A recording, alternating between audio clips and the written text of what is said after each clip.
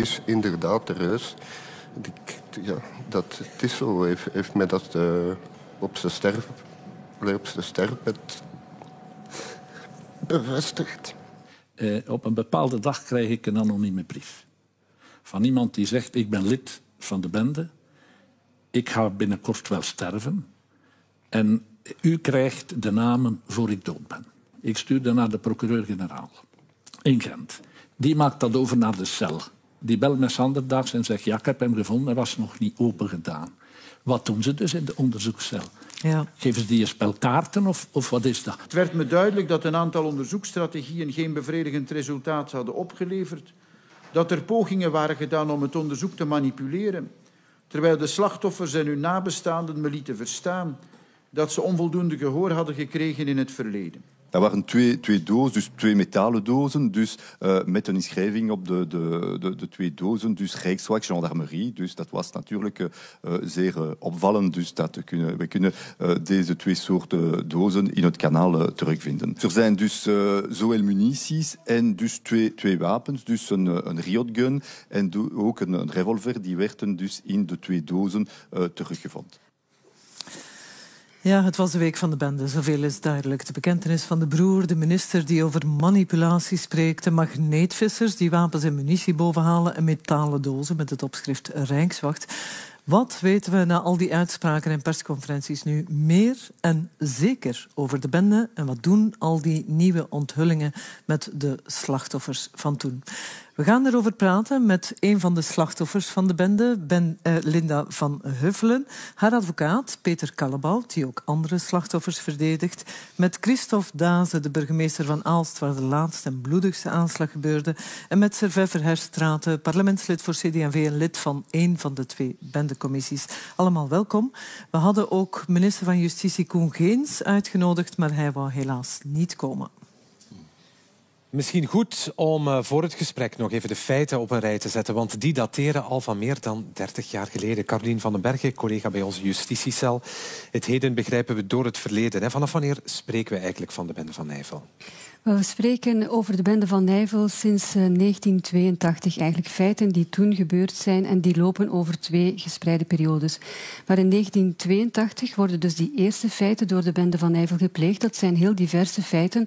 Onder andere diefstallen bij wapenhandelaars, waarbij een belangrijke diefstal bij een wapenhandelaar De Keizer in Waver, waar 15 wapens goed uitgekozen worden gestolen. Maar er is ook een foltering van een concierge in een restaurant in Beersel, die dan ook wordt vermoord. Er is ook een moord op een taxichauffeur. En pas in 1983 zien we dan de eerste overvallen die gepleegd worden op warenhuizen. Niet alleen de Leize, maar ook Colruid, eh, GB. En de naam de bende van Nijvel komt er na de overval op de Colruid van Nijvel in dus 83. En tussen die reeks overvallen op uh, warenhuizen gebeurt er ook een zeer merkwaardige uh, diefstal in Temse bij het bedrijf Withoek van Landegem. Dat is een textielbedrijf en daar worden gesofisticeerde kogelweren de vesten gemaakt. Slechts een handvol mensen zou daarvan op de hoogte zijn geweest, want het, het zijn unieke stukken, bij manier van spreken. En daar wordt de conciërge uh, vermoord en zijn echtgenote, die hier bij ons aan tafel zit, uh, raakt zwaar gewond. En dan, hebben we, dan horen we eigenlijk een tijd niks, hè? bijna twee jaar niks van de bende van Nijvel, tot het najaar van 85. Ja, het is eigenlijk merkwaardig stil een jaar lang. Waarom dat zo is, dat is niet duidelijk. Maar in 85 wordt er een nieuwe reeks overvallen gepleegd op de Leijse warenhuizen. En die tweede golf van aanslagen of overvallen is eigenlijk nog bloediger dan alle feiten voorheen. In die eerste reeks 82, 83 vallen er 12 doden. En in de tweede reeks drie overvallen, uh, Eigenbrakel, Overijse en Aalst, vallen er alle samen 16 doden.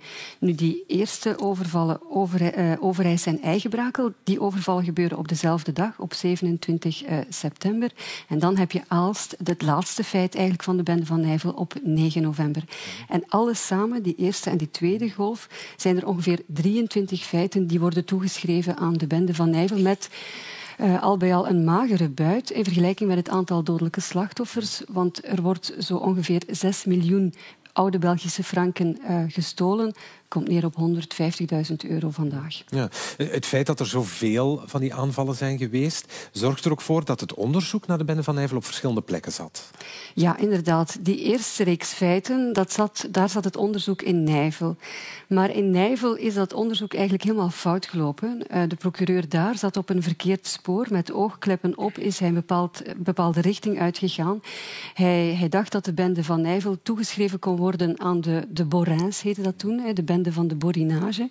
En hij heeft die mensen ook uh, laten voor het gerecht brengen, voor de rechtbank, het Assisehof, maar daar zijn die uiteindelijk vrijgesproken. En niet alleen zat hij dus jarenlang op een verkeerd spoor, wat wel nefast is natuurlijk voor, voor het onderzoek. Bovendien eh, bleek ook dat er geknoeid was met bewijsmateriaal in die zaak tegen de bende van de Borinage, waarna het onderzoek door het Hof van Cassatie, want het was een ernstige procedurefout, door het Hof van Cassatie overgeheveld is naar Charleroi. Dus dat was een eerste beweging uit Nijvelweg naar Charleroi. Intussen was er natuurlijk ook in Dendermonde een onderzoek opgestart naar de feiten die gepleegd waren in Aalst en in Temse. En daar had je onderzoeksrechter Freddy Trog die had een cel opgericht, een cel Delta, en die boekte eigenlijk wel resultaat. Want in 86 gaat die cel in het kanaal Brussel-Charleroi, ter hoogte van Ronquière, wapens, ehm, ook de kassa eh, van Aalst, checks, bovenhalen uit dat kanaal. Dus dat was toch wel eh, belangrijk voor dat onderzoek toen. Maar ja, het onderzoek zat enerzijds in Charleroi, anderzijds in, in Dendermonde. En Freddy Troog vond het op een bepaald moment een goed idee om een gemengde cel op te richten. Want hij, hij zag dat het onderzoek groot werd. Uh, het is beter als je samenwerkt, was toen al het idee. Um, en dat, daar was een akkoord over. Daar bestond een protocol over. Men ging samenwerken op één plek, namelijk in Brussel. Waarom? omdat Freddy Trog ook op het spoor was gekomen van bepaalde linken met andere dossiers.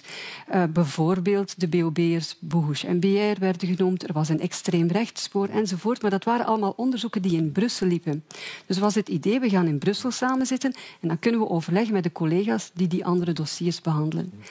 Maar ondanks het akkoord dat er was, komt er plots een kink in de kabel uh, en de kink komt er door uh, een veto zeg maar, van het gerecht in Bergen, de procureur-generaal destijds daar toen.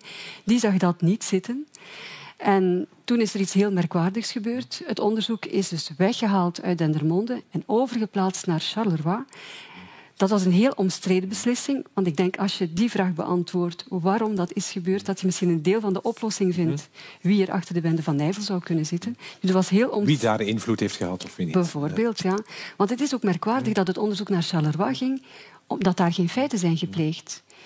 Dus je zou net, net zo goed de omgekeerde beweging hebben kunnen maken en het naar Dendermonde verhuizen. Maar dat is dus niet gebeurd. Uh, en dus zit het nu nog steeds in Charleroi. En dan komen de eerste vraag nog heel kort. Hè. Uh, Caroline, de onthullingen van deze week begonnen met de reus van de bende van Nijvel.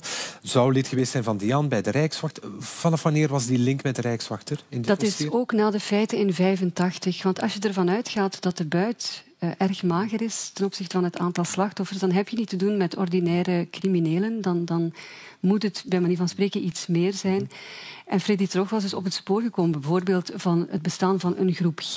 Dat waren uh, rijkswachters die zich groepeerden, extreem rechtse sympathieën hadden, aansloten bij terreurbewegingen extreem rechts toen. Dus dat is eigenlijk sinds de jaren 85 dat dat spoor naar boven is gekomen. Ja. Goed, we gaan zo meteen aanschuiven bij de rest van de tafel, uh, Caroline. Maar we gaan eerst kijken naar uh, de vrouw waar jij het net al over had, Linda van Huffelen, die het slachtoffer werd van de aanval in Temse in 1983. Ze deed bijna twintig jaar geleden, al is haar verhaal. Als Linda van Huffelen 10 september 83 midden in de nacht wakker wordt, ziet ze haar man bloedend op de vloer van de slaapkamer liggen. En van het verschieten heb ik zo gedaan dat, dat er zo lag bloed en al zeker. Dat er direct een van die gangsters naar mij gekomen is. Die hebben naar mij geschoten, dat die kogel is afgekitst op die duim. Een stuk van mijn oor af, iedereen die zit in mijn longen. Ik zit nog vol uit. En dan daarna hebben ze me nog eens afgemaakt in de kop. Ik heb mijn linkerkant is helemaal verlamd, ik kan daar niks mee doen. Hè. En mijn rechterkant zijn maar twee vingers dat ik gebruik. Met die duim kan ik niks mee doen, dat is stijf. Alleen deze vingers. Hier moet ik alles mee doen. Twee maanden heeft Linda van Huffelen in een coma gelegen. Daarna nog eens zes maanden in het ziekenhuis en meer dan een half jaar in een revalidatiecentrum om opnieuw te leren lopen en praten. Ja, mevrouw Van Huffelen, dat was bijna twintig jaar geleden. Hoe is het nu met u? Ja, het gaat wel. Nog altijd het, Nog altijd eh, hetzelfde. Nee. De pijn begint, als het kouder begint te worden, dan doet dat echt pijn. Ja. Dat is een weerknobbel. Hè. Het is... En de linkerkant is... Eh, Nog altijd verlamd. Ik kan daar niks mee doen. Helemaal niks. Ja. 10 september 1983. Hè? Jullie waren eh, conciërge in Ja. een, eh, een fabriek, een textielfabriek in eh Temse. Ja. Wat weet u nog van die overval? Ik weet er niet veel van, eerlijk gezegd. Nee. Die moment, nee. Ik weet alleen dat ze zijn binnengevallen ja, en dat ze met een man hebben neergeschoten. Dat u dat nog gezien. Nee, ik heb dat ergens niet. Dat kan ik me niet herinneren. Er is nog wel een ding dat voor, soms voor mij komt. Dat ik mijn man zie liggen tegen die kelderdeur. Waar ze hem het genadeschot zo gezegd gegeven hebben. Dat is een beeld dat, dat blijft. Met hoeveel waren ze? Die zei, dat kan ik niet zeggen. Ja. En u zelf bent dan ook gewond geraakt? Ja. ja? En men dacht eerst dat u ook dood was. Ja, ja, Want- ik zat in de lijkzak. Dus U zat in de lijkzak. ik, ze hebben mij in de lijkzak gestoken. Ja. Maar een ambulancier is altijd met twee, al goed. En in de tweede die, die zag nog iets eh, bewegen. Hè. Direct de lijkzak uit natuurlijk. Hè. Die, Ja. Anders zou ik hier niet zitten. Hè. Nee. En dan hebt u twee maanden in coma gelegen. Ja, twee maanden. Dat is Ja. lang. U bent eh 80% invalide op dit moment? Ja, 80 procent, ja. Ja, u had een dochter al op dat moment? Een grote en een kleine. Hè. Ja. Eén van zes weken en één van twee jaar. Ja. Ja. Die hebben dat ook meegemaakt, dus. Die... Ja, ja, die slepen daar. Hè. Maar ja, de, de oudste wel, het schijnt. Hè. Die moet daar, want ze hebben de voetsporen dan gevonden in het bloed. Ja. En een van die bandieten moet ze naar bedden gelegd hebben, verkeerd. En die kleine riep altijd maar niet schieten, niet schieten. Dat hebben ze mij verteld, hè. ik weet dat niet. hè. Ja. Dus Wat, die mannen waren dus op zoek naar kogelvrije vesten. vesten. Ja. Hoe, wie wist dat, dat die daar gemaakt werden? Want dat waren ik denk dat, prototypes ja, dat, ja, dat schijnt. En die werden dan bewaard in een kluis. in het bedrijf. In het bedrijf, het schijnt. Ja. Ik kan me dat niet herinneren. Ja, maar dus niet iedereen wist dat, dat dat daar gemaakt werd. Ik zou dat niet kunnen zeggen. Ja. Ik ging dat tegen iedereen niet vertellen, want ik wist dat zelf niet. Maar jullie wisten het wel als conciërge? Ik wist, het, ik wist dat niet. Alleen ik kan me toch niet herinneren. Zo'n hele week van eh, opnieuw een doorbraak en onthullingen. Wat Ja. doet dat met u? Ja, dat, is, daar, daar, daar rakelt alles weer natuurlijk op. Hè. Want vergeten doe ik met een man nooit, dat kan ik niet. Dat zit erin. In, ja. Ja, Ik ken hem al van mijn twaalf jaar, hoe ik ermee... gezegd. Ja, ze. Ja. ik vergeet je niet. hè. Hoeft ook niet, hè? Nee, nee, nee, absoluut. Ja. Dat zou ik niet kunnen, ook niet. Meneer Nee, nee. u bent advocaat van eh, Linda van Uffelen, maar ook van andere mensen. Hebben andere mensen, andere slachtoffers, u ook gecontacteerd? Dat is er één geweest, ja. ja, en wat doet het met hen? Ehm, ze zijn ergens niet gelukkig met hetgeen dat aan het gebeuren is. Eh, anderzijds zouden ze natuurlijk willen weten wie, wat, waar en hoe. Maar de meesten willen zich angstvallig ervan weghalen. Nu ziet het verhaal van Linda ook. Dat rakelt weer alles op. Die oude wonden gaan weer open. Men heeft weer een strovuurtje gelanceerd. eh, Het brandt weer. hè. Het is weer hevig. Ja. En wij weten al van wat wij tot op dit ogenblik meegemaakt hebben, dat dat altijd vrij vlug dooft. En ik vrees dat dat hier ook weer het geval is. U gelooft er niet in? Nee, dat is klaar en duidelijk. Nee, niet in wat er nu aan het gebeuren is. Nee. En waarom krijgt het dan nu zoveel aandacht? Ja, dat is de pers natuurlijk. Het is eh, spectaculair. hè. Iemand die op zijn doodsbed komt vertellen, twee jaar geleden, dat hij de reus was van de bende. Maar is het zoveel spectaculairder dan eerdere signalen van hoop die er Ja, nu gaat men toch naar de daders meer. Eh, nu wil men toch zeggen van kijk eens, we hebben nummer 19, we hebben de, reus, de fameuze reus van de bende van Eiffel. Ik heb daar een hele grote vraagtekens bij. Als men eens kijkt naar de objectieve feiten, mm, ik ervoor. Meneer hè, in Aalst, burgemeester van Aalst. Wat heeft deze week in Aalst teweeggebracht? Ja, het beroert natuurlijk eh, Aalst. Hè. Men stelt vast dat eh, ons land vele slachtoffers heeft. Elk met een individueel verdriet, met een eigen verhaal. En ik moet zeggen, eh, mijn grootste appreciatie voor Linda die dat hier komt vertellen. Dat is een les in nederigheid dat we eigenlijk krijgen. Want eh, het doet pijn wanneer men eigenlijk danst op het graf. Ik sta jaar na jaar eh, bij de herdenking op de begraafplaats in Aalst. En ik heb daar... acht uh, families die zwaar getroffen zijn. En ehm 28 doden in een rechtsstaat, dat veeg je niet onder de mat. En elke sprankel hoop die wordt door die mensen aangegrepen. ieder slachtoffer vertaalt dat ook op een eigen manier. Er zijn mensen die bij mij komen en die zeggen... burgemeester, ik wil die pagina echt kunnen keren, turn the page. Er zijn er anderen die gestigmatiseerd worden, die in armoede terechtkomen. Er zijn er nog anderen die het van zich afschrijven, die verontwaardigd zijn en die het laten verfilmen. Het zijn zoveel uitdrukkingen van, uitdrukkingen van slachtofferschap. Reageren. En ik denk dat we in dit land toch met iets anders moeten beginnen omgaan. Ja, daar willen we het straks ook nog over hebben. Maar eerst, het kwam ook heel dichtbij voor u in Aalst. Hè? Want de man die op zijn sterfbed dan bekend heeft dat hij de reus was, die is rijkswachter geweest in Aalst. Wat zegt uw politiekorps? Wel, natuurlijk, uh, dat komt inderdaad uh, heel dichtbij. Het is natuurlijk een kwestie om de zaak uh, juist te situeren. Uh, voor alle duidelijkheid, ik ga daar ook geen enkele verantwoordelijkheid ontlopen. We zullen volop medewerking verlenen met gans het korps aan alle dienstige elementen die we kunnen naar boven brengen. Want het zullen geen steentjes zijn die naar, naar boven moeten worden gebracht, zoals de minister van Justitie zegt. Maar het zijn, het zijn bijna betonblokken die we moeten naar boven brengen. Maar loopt het onderzoek nu bij uw het politiemensen? Het onderzoek loopt, maar ik denk dat we het juist moeten contextualiseren. De man in kwestie heeft eigenlijk het einde van zijn carrière doorgebracht in de politiezone Aalst. Ik was op dat ogenblik 18 jaar, ik was ook nog geen burgemeester. De contacten tussen een burgemeester en een politiekorps zijn gelukkig maar geïntensifieerd en veel verbeterd. Ik heb nu 232 agenten. Ik weet eigenlijk wel, of ik, ik hoop te weten wat er in het korps zich afspeelt. Maar we moeten het eerder situeren in het tijdperk van dat elitekorps. De groep Jan, dat is stilaan duidelijk. We zullen er straks mogelijk over hebben. Maar toen hij daar is uitgezet, is hij bij de Rijkswacht in Aalst uh, Klopt, dat is, uh, dat is na de politiehervorming in 2001, hè, zoals men dan zei. Men werd eigenlijk uh, afgedeeld bij een bepaald korps. En hij is in het korps van Aalst terechtgekomen, waar hij eigenlijk regulier politiewerk gedaan heeft. Hè. Geen zware dossiers. Ja, maar natuurlijk, uh, ja, dat is een beetje la complicité des malheureux, als ik het zo mag uitdrukken. Natuurlijk heeft die man, het korps Dian, dat was een beperkt elitekorps, dat begon met een tachtigtal mensen, is geleidelijk aan uitgebreid geworden.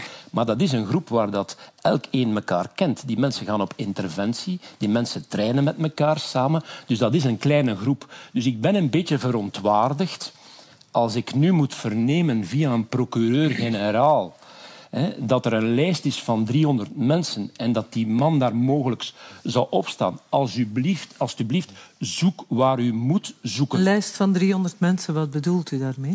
Wel, er is een lijst, dat is toch minstens wat in de media naar voren komt. Ook worden daar verklaringen afgelegd door de minister van Justitie en door de procureur-generaal.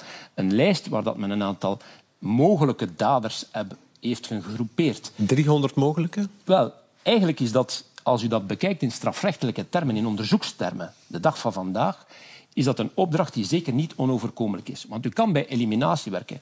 Vindt u het normaal, ik ga het eens omdraaien, dat men na 32 jaar verschillende pistes nog niet heeft kunnen uitsluiten? Mhm. Want men kan denken aan die Rijkswacht, en dat is een piste die mensen die in eer en geweten, onderzoeksector Trog, die in eer en geweten dit dossier heeft onderzocht, heeft daar herhaaldelijk direct en indirect op gewezen Hè, dat men inderdaad daar eens mag gaan kijken. En dan kan het relatief vlug gaan, denk ik. Die link naar de Rijkswacht wil ik straks ter sprake brengen nog. Maar nu eerst over die man, die Chris B., die de bekentenis gedaan heeft. Hoe zeker zijn we eigenlijk? Want u twijfelt eraan. Caroline, wat weten we met zekerheid? Hij werkte niet op de dag van de aanslagen en hij mankte. Is dat voldoende? Nee, dat is zeker niet voldoende. Eigenlijk moet je beginnen bij de bekentenis, die ook al behoorlijk sumier was. Want wat heeft die man nu gezegd? Hij heeft niet gezegd, ik ben de reus van de bende van Nijvel en ik was betrokken bij de overval in Overijse en in Eigenbrakel. Dat heeft hij niet gezegd. Hij heeft gezegd, ik had daar iets mee te maken en dat is het. Dus het is natuurlijk jammer omdat de naam van die man al opgedoken was eind jaren negentig met een herkenning door een kennis. Die, die was dan naar het gerecht gestapt met de melding dat hij dacht dat zijn kennis wel voldeed aan de beschrijving van die robotfoto. Maar toen is met dat spoor eigenlijk bitter weinig gedaan. Tenminste, hij is nooit ondervraagd toen. En nu kan hij niet meer worden ondervraagd. Wel een speekseltest later. Ja, maar daar is geen match. Maar dat is natuurlijk ook niet zo vreemd, want er zitten weinig sporen. Twee DNA-stalen zijn er maar. Twee, ja. Maar in de tijd waarover we praten, was dat onderzoek natuurlijk ook nog niet zoals het nu uh, gaat. Hè. Over de link met de Rijkswacht. Er was nog een link deze week. Uh, toen drie jonge magneetvissers met uh, de buiten die ze enkele maanden geleden uit het kanaal Brussel-Charleroi hadden opgevist, naar de politie stapten. Ja, op een dag hij smijt de magneet uit En hij haalt binnen een, een handgeweer. En ja, we waren direct wat ja, verschoten. En er was een vrouw aan de, aan zijkant van het kanaal. En het eerste wat ze riep is, dat kan van de bende van Nijvel zijn. En eigenlijk, dat heeft ons, denk ik, allee, aan mij toch vooral doen nadenken. En mij de dingen gegeven om verder te zoeken. Dan zijn we daar nog uh, 20 of 30 keer geweest. En we hebben dan uh, nog van alles uh, gevonden. Zoals twee, twee munitiedozen. Een stuk van een, van een golf. Ik vind het wel een beetje raar dat, ze, dat wij dat vinden met een magneetje. Dat we zo op internet kopen. Terwijl zij toch een bepaalde uitrusting zou moeten hebben die, die beter... Allee, ik heb op mijn boot bijvoorbeeld al, al een bodemradar. Waar dat wij al zouden kunnen zien waar iets ligt of zo. En ik vraag mij af waarom ze dat niet benutten. Ik heb uit die zwarte zak dingen zien vallen, dat weet ik 100% zeker. En dat vinden ze niet. We hadden bijna een ganse rijden, maar ontbreekt ze nog juist het handvat en zo. En ik weet zeker dat ik toen wat, samen met modder heb zien vallen. Dus ik weet dat er sowieso, uit die zak zijn sowieso kogels gevallen. Daar zaten honderd losse kogels in. Allee, dat kan niet dat wij dat zo mooi hebben gepakt dat daar niks is uitgevallen. Dat kan niet. Ja, Carolien. Dat was het verhaal van deze week. Hè. Dozen, metalen dozen met opschrift, uh, munitie, ridegun. Waar is dat materiaal nu? Wel, dat ligt bij het NICC, het Nationaal Instituut voor Criminologie en Criminalistiek. Uh, daar zal men onderzoeken uh, uit welke periode dat dateert, hoe lang dat al in het water zou hebben gelegen. Dus nu moet er een link komen, als die er zou zijn, tussen het dossier van de bende van Nijvel en wat die, die jongeren hebben gevonden. Ja, want dat is nog niet bewezen. Maar stel dat, het, dat er een link is, wat dan? Dan wordt er opnieuw gezocht. Want er is natuurlijk na die onthulling hè, van uh, we hebben van jongeren iets ontvangen. Toen is er sumier onderzoek gebeurd daar in het kanaal op diezelfde plek. Toen is er niks gevonden. Maar mocht er een link blijken te zijn, dan zegt het gerecht ons dat ze daar opnieuw, maar op een grotere schaal gaan, zoeken. zoeken. Maar niet gaan duiken, want dat zou het hele scheepvaartverkeer daar stilleggen. En met duikers vind je kennelijk niet zoveel. Dus men zou eigenlijk materiaal in het buitenland moeten gaan halen. Een soort mag alleen maar magneten nodig. Ja, ja. ja maar die, de, ja. kennelijk de magneten van de federale politie bij ons zijn niet krachtig genoeg. Die zijn niet krachtig genoeg. En drie jonge mannen die kunnen dat wel. Dit is toch echt een waanzinnig verhaal. dat is het surrealisme in surrealisme. Ja. Ceci n'est pas une enquête pénale. Dat is René Margriet in het strafrecht. Ja, klopt. Ja. Dat is ook zo. U Wat dacht u toen u dat verhaal hoorde? Wel, men had feitelijk nog beter op de kisten geschreven de namen van de bende van Eiffel. Dat is men nog vergeten te doen. Uh, allee, dit is werkelijk het surrealisme in kwadraat. Meneer Van Herstraat, we hebben u nog niet gehoord. Wat dacht u? Magneetvissers. Wel, uh, ik, vind het, ik vind het een heel bizar verhaal. En al die pistes die, die nu weer boven water komen, doen mij gevoelens van hoop geven, maar geven mij evenzeer gevoelens van vrees. Want we hebben de zoveel pistes al gehad. Nog een paar jaar geleden hebben we iemand aangehouden gehad van Westland New Post, van extreem rechts, waar we mhm. dachten, nu hebben we het ze. Die ook de reus was. Die ook de reus was. Want er zijn al veel personen de reus geweest in dat veel grote mensen rond in de Dus ik zit met, echt met vrees en blijf dan altijd naar mevrouw Van Nuffelen en al die vele slachtoffers. Wat doet dat met hen als straks die ballon weer doorprikt zou worden? Daar ben ik bang van. En anderzijds heb ik de hoop want dit is wel een beloftevol spoor. Het is de eerste keer dat je natuurlijk concreter bij Rijkswacht zit. Dat laat mij zeggen zijn personeelsdossier en zijn verlofdagen volledig overeenstemmen. Dat er die voetkwetsuren is.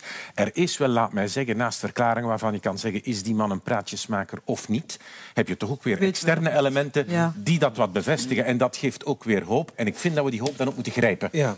De, de, hoop als die er is grijpen, maar die is er al een paar keer geweest, zoals u zei. Zelfs zat u in de tweede bendecommissie, die in 1995 het onderzoek zelf onderzocht heeft. Wat hebben we daar dan niks uit geleerd? Maar die bendecommissie heeft aanleiding gegeven tot een hoop aanbevelingen en tot een verbeterde justitie. Ik denk dat dat duidelijk is. Maar wat de feiten betreft en wat het concrete betreft, zit je natuurlijk je zit met vermoedens, je zit met aanwijzingen en je zit met harde bewijzen. Toen ook al vermoedens van Rijks? En ja, we, hadden, we hebben eigenlijk geen keiharde bewijzen gevonden van, laat mij zeggen, misbruik om dingen te laten ontsporen.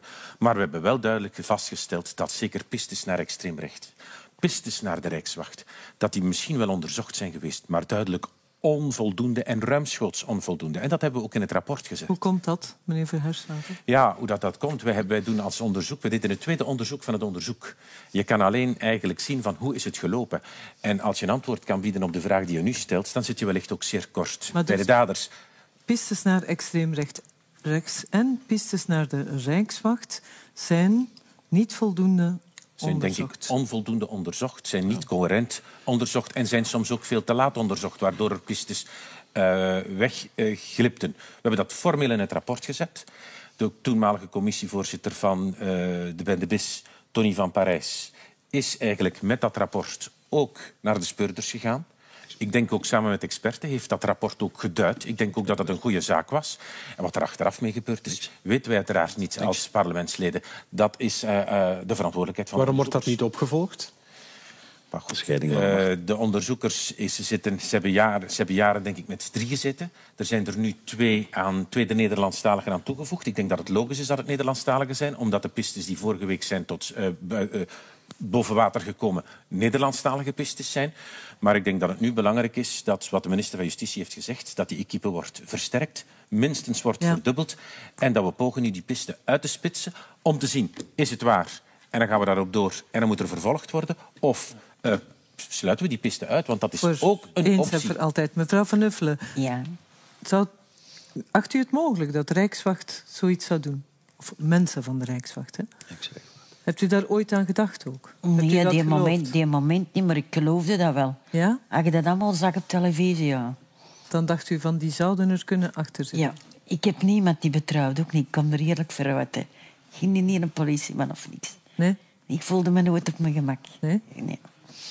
Bij alle keren dat u verhoord werd? Ja, echt waar. Ik was niet, ik was niet gerust. En waarom was u niet gerust? Ja, als je dat allemaal hoort, ja. Den die zit erbij, die zit erbij, allee. Dat kan toch allemaal niet? Ja.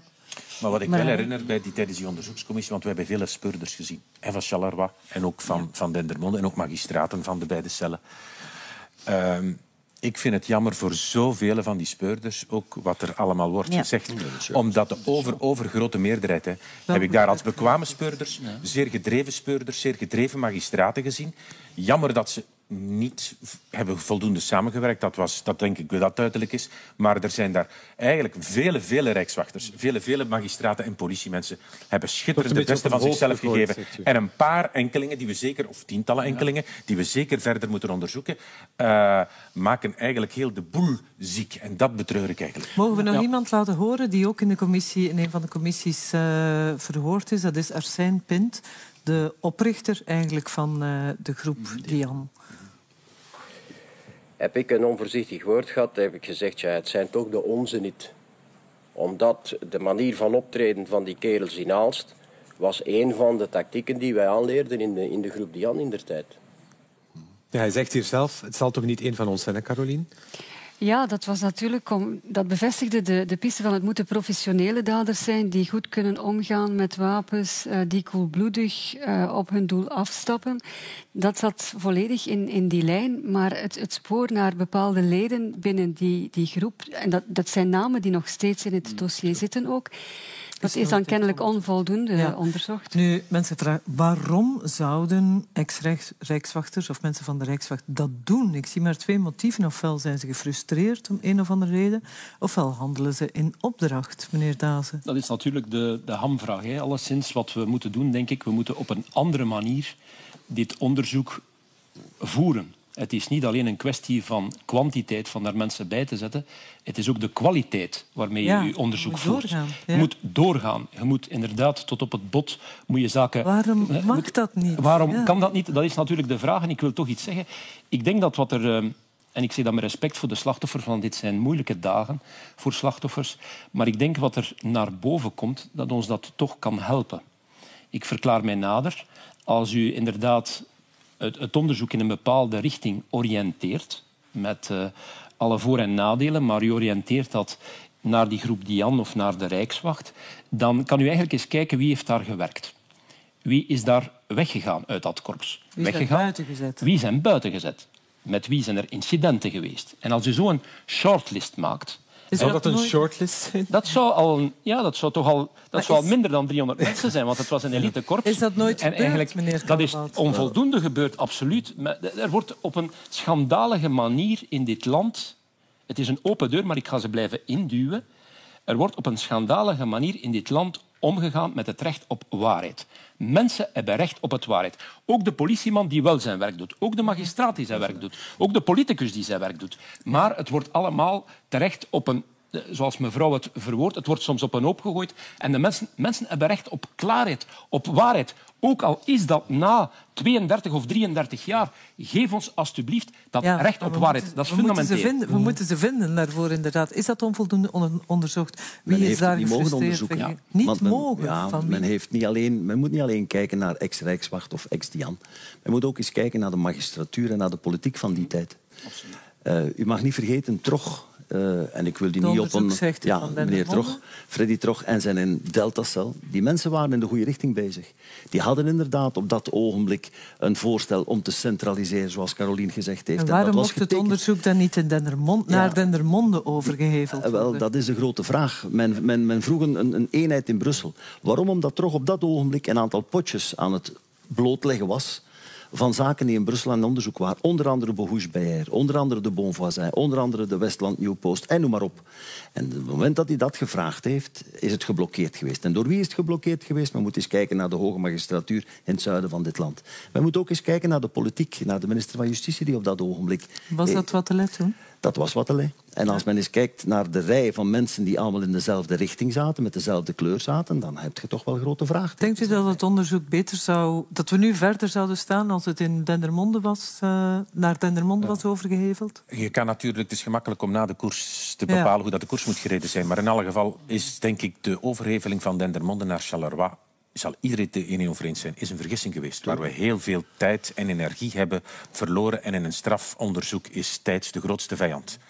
Maar ehm, vandaag zou dat ook niet meer gebeuren. De logica was dat dat eigenlijk wellicht naar een neutrale instantie... De twee cellen werkten niet goed samen. Er moest wel iets gebeuren. Maar eh, je had perfect andere oplossingen kunnen doen. En vandaag is er die oplossing. Dat is een van onze aanbevelingen geweest. Richt een federaal parket op. En dat is er gelukkig ook gekomen. Ehm, of dat men... Ja, eens, ja, natuurlijk is er een beslissing geweest destijds van de Kamer van Inbeschuldigingsstelling. En je kan daar vragen bij stellen. Maar het is wel rechters die die beslissing ter zake hebben genomen. Dat is wel maar onwettig geweest, wat ik denk... Wat ik denk. Dat was onwettig, men heeft, men heeft uiteraard Daar is dus van, is er bescherming? Anderzijds kan je ook perfect weten, er zijn namen van de shortlist. Hè, en noem ze Bouillot en Beher. Ja, goed. Je hebt natuurlijk, je is, daar is onderzoek op gebeurd. Daar is onvoldoende onderzoek op gebeurd. En daar hebben we met de onderzoekscommissie ook heel duidelijk over gezegd. We stellen ook wel vragen hoe dat sommige eh, rijkswachters van de BOB in Brussel het onderzoek van de diefstal van de wapens van Dian hebben gedaan. Daar zijn wel wat dingen misgelopen. En dan hebben we zelfs in het rapport... Want er was van de week zeer veel te doen over het woord manipulatie. Ja, maar het woord door manipulatie... uw eigen minister, hè, Ja. meneer Geens. Ja. Die heeft van de week gezegd, er zijn sporen van manipula- manipulatie. Heeft hij daar bewijzen voor? Ja, goed. eh, Als een minister van Justitie zoiets Maar- zegt, is dat toch... Ja, maar Dat is het probleem. De manipulatie is al gebeurd in 1990. Men heeft een dossier naar een onbevoegde arrondissement op een onwettige manier. De bom ligt er al onder van in 1990, wat ik toen ook gezegd Ik wil heb. even verduidelijken, want de minister, als ik het goed begrepen heb, zei s'avonds, hij zei in de commissie er zijn sporen van manipulatie, en s'avonds zei hij dat sloeg op de wapenvondst in 1986, maar dat was door het parket van Dendermonde. Ja. Dus dan denk ik, dat parket van Dendermonde is gemanipuleerd of was aan het Nee, manipuleren. Ik geloof nooit dat het parket van, eh, van de Ja, maar gemanipuleerd is. Maar in elk geval, kijk, eh, de- als, als in vele strafonderzoeken wordt er gemanipuleerd. Door beklaagden die er belang bij hebben om de dans te ontspringen. Of door anderen zwart te maken om zo hun verantwoordelijkheid te minimaliseren. Ik kan me inbeelden dat in een dossier als dit, dit ook door sommigen gebeurd is. Of door mogelijke verdachten gebeurd is. Wij hebben natuurlijk het tweede onderzoek van het onderzoek gedaan. En we zijn bijvoorbeeld bij die wapendiefstal van Dian op zeer bizarre elementen gevonden. En hebben dan ook in het rapport heel uitdrukkelijk gezegd, we hebben daar niet gezegd er is manipulatie, maar we hebben gezegd wij stellen ons vragen of er hier van sommige rijkswachtofficieren niet kan gemanipuleerd zijn geweest als mogelijke verdachten. Als namen als Bouillou en BR op dat ogenblik nog bij de BOB van Brussel zijn, die dat onderzoek naar die diefstallen doen. En dat is toch geen klein ding bij de groep Jan mee wapensdiefstallen. Ja, kijk, dan stelt zich dat vragen. En dat hebben we vastgesteld, dat hebben we in het rapport gezet. En dat hebben we ook eigenlijk aan de speurders meegedeeld. Zoek dat beter uit. Als de minister dat zegt, dat is niet bevorderlijk voor het vertrouwen in justitie. Hè? Dit gaat natuurlijk Nee. over, dit gaat natuurlijk over, Ja, over, over dossiergegevens van toen en onderzoek van toen op een ogenblik dat Maar dan wij moet hij met toch wel heel zeker zijn. En daar ga ik voor even naar Caroline. Dan moet je toch wel heel zeker zijn als minister van Justitie als je zoiets zegt. Het was natuurlijk merkwaardig dat dat de minister dat aanhaalde, omdat dat deel van die manipulatie waar hij het over had... Wapenvondst. eh, wapenvondst. Ja, en eh, we weten van, van sinds 2013 is dat onderzoek gestart. Er zijn speurders van toen in Dendermonde, Manu Militari, meegenomen voor ondervraging. Maar eigenlijk is, is dat afgerond en klaar met, met de boodschap dat daar niet door die speurders gemanipuleerd is, niet door die cel. Dus waarom zou hij dat dan zeggen? Omdat hij ik verkeerd niet. wordt. Ah, Door wie? Het is van één, van één bepaalde richting dat het komt. Het Door komt wie? van altijd het onderzoek vanuit het zuiden van het land. Vanuit het parket-generaal van Luik. Die een bepaalde visie geeft, die volgens mij totaal verkeerd is. En de feiten wijzen daar ook op dat hij verkeerd is. Nu, de procureur, dus, excuseer, de procureur-generaal heeft dat dan later ook weer genuanceerd in, in ter zake om te zeggen, ja, er valt die speurders van Dendermonde niets te verwijten. Manipulatie niet van binnen, maar hij sprak over manipulatie van buiten, zonder dan te specifieren wat soort manipulatie en van waar van buiten dat zou Ik komen. vind eigenlijk dat de minister dat dat een fout is dat hij dat dan zegt. Maar daar ben ik het totaal niet mee eens. Ten eerste, ik was niet verrast door het woord manipulatie. Nee, omdat we het zelf in ons eigen rapport hebben geschreven. Nee, meneer er zijn dat, linken, dat linken aan de wapenvondst van 86. Ja, maar dat, één was dat een publiek gegeven. En er zijn daar vragen over gesteld. Sommigen hebben zich daardoor misschien ehm, aangevallen gevoelen. Mijn aanvoelen is, als er derden manipuleren, dan worden de speurders gemanipuleerd en zijn zij medeslachtoffer van die manipulatie. En je zit met mogelijke verdachten, die Rijkswacht, die mogelijke verdachten... Dendermonde is niet gemanipuleerd. Nee, zeker niet. maar Misschien moet er een suggestie meegegeven worden aan de minister. Hè, want de, de waarheid heeft, eh, heeft vele gezichten blijkbaar. Hè, en hoe alles wordt verklaard en gezegd. Hè. Het zou eens goed zijn als we nu... Ik heb altijd van in het begin gezegd, en de minister is daarin gevolgd, met vijf mensen onderzoek je geen 28 moorden. Eén, capaciteit opdrijven. Twee, doe het Meer eens... mensen. Maar dat meer heeft- mensen. dat heeft- dat heeft hij al doe, gezegd. doe, het eens, doe het eens zoals in Nederland. Zet daar wat men noemt een tegenspraakteam naast. De tips Juist- die je nu... de juiste mensen De juiste mensen, onafhankelijk. Wat is dat, een Ja, tegenspraak? dat is eigenlijk een soort spiegel dat aan het onderzoek wordt gehouden. Zijn onderzoekers op dat moment juist bezig? Worden alle tips correct geëxploiteerd? Wie moet dat doen? Wel, dat kunnen onafhankelijke, justitiële experten zijn om die waarheid naar boven te brengen. Nog verdergaand is een soort wat men in Nederland kent, is een waarheidscommissie. Ik wil de twee goed onderscheiden. Strafrecht is op zoek naar schuldigen. Waarheidscommissies zijn op Wat zoek naar waarheid. gebeurd? Ja. Wat is daar gebeurd? Dat moet men goed onderscheiden. We hebben de verjaringstermijn in het parlement verlengd. Al twee keer. Al twee keer. Het is natuurlijk het is schaamtelijk als men ziet ook... De cadans van dat onderzoek is niet goed. En dat blijft... Die dynamiek, Nee, die dynamiek moet anders zijn. Dat Ja, is zo Caroline, denk je dat- opflakkeringsjustitie, stookvuurtje dat gespeeld wordt. En dat kan niet. Nu moet elk, alle tips...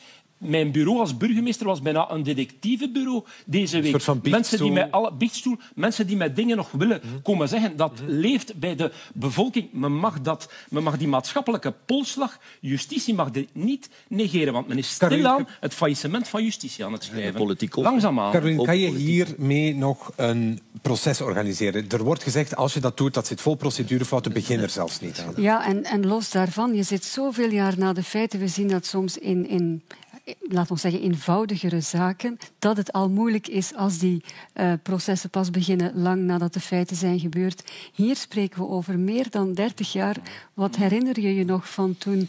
Ehm, hoe ga je die, die, die verdediging eh, doorbreken? Ja, Het zijn allemaal Wie doden kan die je nog veroordelen? Het zijn Ja, doden die spreken. dat Hoe is bij jij? Er is ook Ja, alleen een hoe- dood. Hè. Maar ik Die denk man dat is ook belangrijk al... is dat, wat, wat we nu moeten doen. Eén, die cel moet uitgebreid. De minister heeft dat ook beloofd. Uh, Dinsdag gaat hij aankondigen Morgen, mensen dinsdag ook komen. Morgen zijn er met de procureurs-generaals komen ze bij elkaar. En belangrijk is dat die equipe wordt bemand en bevrouwd met die mensen die het nodig heeft en met zoveel mensen als er nodig zijn. Dat we die pistes die boven En water zijn kennis gekomen, van destijds worden erbij, van Dendermonde, Tot en met. Twee vind ik, we moeten ook eens kijken naar de slachtoffers.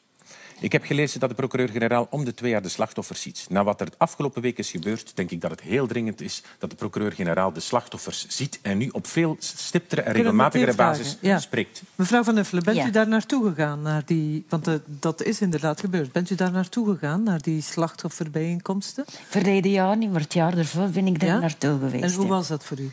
Ja, het was meer in het Frans te doen. Dan nu. Voilà. En, en, en een vertaler, ja. Dat was eh, raar of zelden dat je iets vertaalde. Dat was echt niet, niet, niet, niet, niet, Dus je niet begreep niet aangenaam. goed wat dat daar verteld werd. Nee, want dat, het ging te vlug. Maar als ik daar een suggestie mag doen, want wat is het probleem, denk ik, van menige slachtoffers? Ik denk dat zij nood hebben ook aan bijstand van hun advocaat. Dat kost veel geld na 30, 35 jaar. Wel, laat ons hoe dan ook. Heeft daar nog de slachtoffers. gekost, hè? We doen dat gratis, hè? Ja. En ze moeten ze nog kunnen betalen. Dat zal niet iedereen... Wel, maar, dus wel, ik vind dat in een dossier als dit dat niet hoeft, meester Kallebout. Nee, ik vind dat we hier een even moeten bijsteken Ja. naar de slachtoffers toe. Mevrouw Van Nuffelen, wat hebt u gekregen als vergoeding? Hebt u een vergoeding gekregen als slachtoffer? Eh, dat weet We hij zijn, niet. we zijn naar het, eh, het fonds geweest en we hebben daar inderdaad een vergoeding gekregen. Zoveel jaar terug, hè, meer dan 25 jaar geleden. Hè. Ja? En dat, dan- als je dat nu bekijkt en de manier waarop dat Linda moet leven, ja, dat, is, dat is peanuts. Hè. En wat krijgt u nu nog? Niets? Nee. Niets. niets. Allee, ik heb alleen mijn weduwpensioen. Aha. En dat is eigenlijk weinig. Ik, heb, ik ben 80% invalide. en Je ziet dat ik het moet doen met twee vingers. Moet ik mijn leven verder zo. Ja. Dat gaat niet. Is, ik kom er eerlijk vooruit. Ik zeg gelijk dat is. Aha. Waar hoopt u nog op? Ja, toch i- i- van iets van mijn man toch te krijgen nog. Een soort schadevergoeding voor, Ja. voor uw man. Dat hebt u niet gekregen, alleen voor uzelf. Ja, Nee. inderdaad. We En gaan, niet voor we de man proberen die- nog naar het, het fonds te gaan, maar ja. Ja. Hoopt u nog op de waarheid? Ja, eigenlijk wel. Ergens in, in het binnenste wel. Wil ik wel dat dat uitkomt eigenlijk.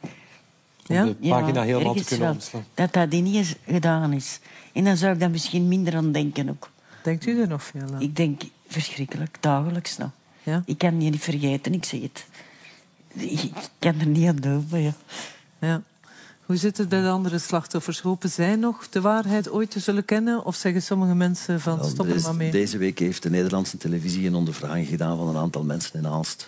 En er was er een bij die dat op zijn typische Aalsterse manier gezegd heeft. U lacht, meneer eh, Daten. Ik voel hem komen, Ja. ik voel hem komen. De soldaten interesseren ons niet meer, meneer zei het, maar de generaals wel.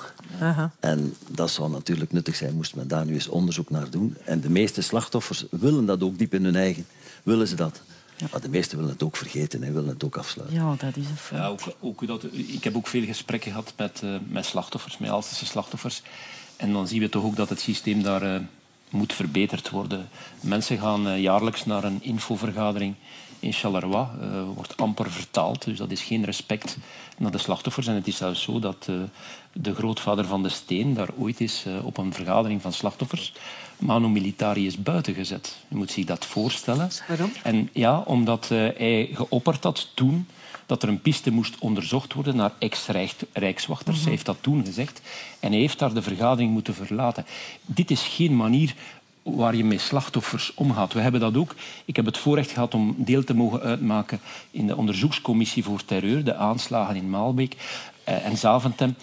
Ons land moet op een andere manier beginnen omgaan Ja. met slachtoffers. Want we zijn eigenlijk secundaire victimisering aan het doen. We zijn mensen een tweede keer slachtoffer. Ja, maar we zijn daar, Ja. we zijn daar wel op aan het werken. Want allee, dit, dit, dit klinkt voor mij, dit grijpt mij aan. Hè. Dit zijn levensfeitelijke verhalen eh, die, die, die beklijvend zijn en waar we iets moeten doen. Ik sta daar op het kerkhof jaar na jaar. Ik heb daar nog geen procureur-generaal gezien. Ik denk dat hij dit jaar gaat komen. We hebben, we hebben natuurlijk na de aanslagen van Parijs de wet nog verbeterd voor slachtoffers eh, die niet vergoed worden omdat de daders eh, het zijn niet ontdekt worden, het zijn niet het geld hebben om de slachtoffers te vergoeden. Dat is beter dan toen destijds, maar dat blijven natuurlijk druppels op een hete plaat. Eh, we hebben met de onderzoekscommissie eh, terreur die we van de week hebben afgesloten ook duidelijke afspraken gemaakt om nog verbeteringen te doen voor slachtoffers. Dat zijn we hen verschuldigd. Onder meer rechtsbijstand, onder meer denk ik ook vooral de psychologische bijstand. En dan, want het gaat ook over psychologie, het gaat ook over emo naast financiële eh, vergoedingen. En daar denk ik dat we in het verleden tekort zijn geschoten en daar denk ik dat we ook meer moeten Ja. investeren. Dat zijn we verschuldigd, ook aan de slachtoffers van de bende van Nijvel. We hebben uitzonderlijk verjaringstermijnen verlengd. Ik denk ook dat we uitzonderlijk en retroactief eigenlijk nog een stapje meer moeten doen in de richting van die slachtoffers. Allemaal heel erg bedankt om eh, te komen. Zeker u, mevrouw eh, Van Huffelen. Nog, eh, het allerbeste. En ik hoop dat we het ooit zullen weten. Dank u wel.